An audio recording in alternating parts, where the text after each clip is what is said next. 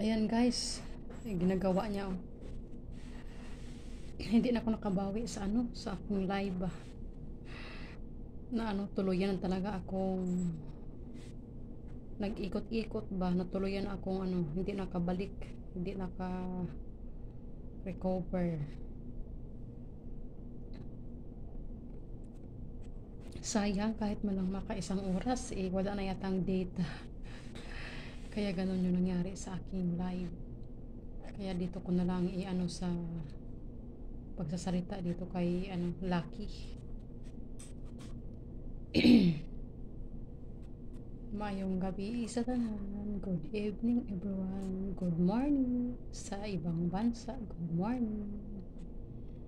At ito naman sa Pinas ay mag-good night na. Hindi ah, hindi ah, hindi nakisama yung ano, yung data ko. Talagang 15 sec 15 minutes pa yata yun or iwan ko kung nakarating ba yun ng 15 minutes.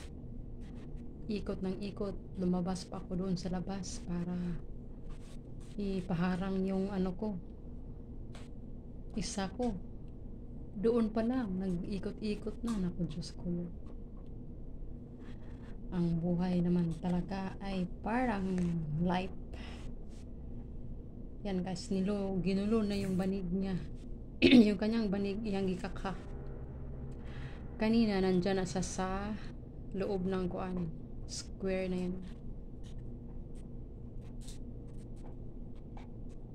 yan. Yan yung trabaho niya. Yung pink na yan guys ay lagyan na namin ng bigas yan dyan siya nakapwisto talaga Ayan yung ventilador guys. So, yan. Yung ventilador niya. Namin. Ayan yung saksakan. Ano yung kanyang ano, tubigan. Nandyan din sa tabi niya. Ganyan lang ang aming maliit na kwarto. Yan siya.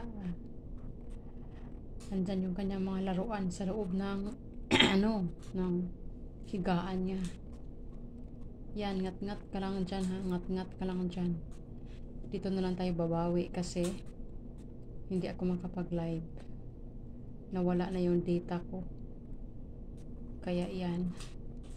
Si Lucky na lang ang aking gawing content for tonight. Inaubos ko na nga guys oh. Naubos ko na yung apat na slice ng orange kasi, naka two times ko na yan siniserve doon. Hindi naman kinakain. Kaya ako na lang ang kumain. Kung hanapin na sabihin kung kinain ko. Kasi wala namang namansin eh. ba diba? Ayan, ngat-ngat pa more. Ano ba talaga yan? Masarap ba yan? Ha? Buhay na buhay siya pag gabi. Pag araw ay ano yan siya. Antok.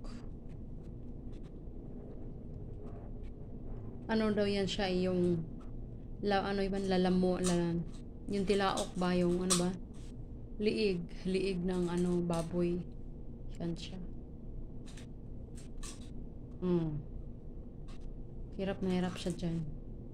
Pero pag yung tainga at saka yung balat ng baboy mabilis niyang matapos mag ngat ngat yan hirapan siya dyan. Nilanggam kaya iyan dahil sa kakangat ngat niya. Kagabi nilanggam. Kaya pala hindi natulog sa ano balay niya kasi may langgam. Pinang umaga nakita ko. Kaya nilanggam yung ano ninangat-ngat niya. Yun yung ano tawag ito.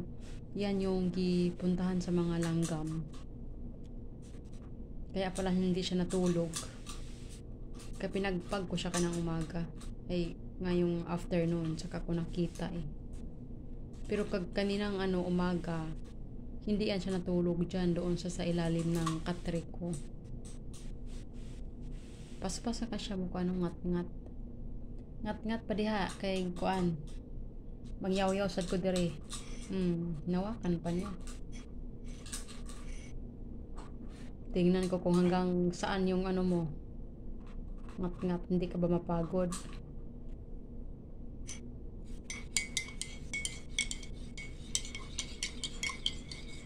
Matanaw ba na ako sa kamera pag magyawyaw ko diri